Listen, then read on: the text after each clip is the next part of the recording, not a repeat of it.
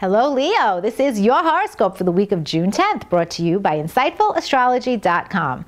Leo, this week, Jupiter, the planet of expansion and abundance, will change signs and enters your social 11th house. This is very exciting, Leo, because you're a sign that tends to enjoy the good, fun life to begin with. And now, for the next year, you'll have plenty of company as you do it.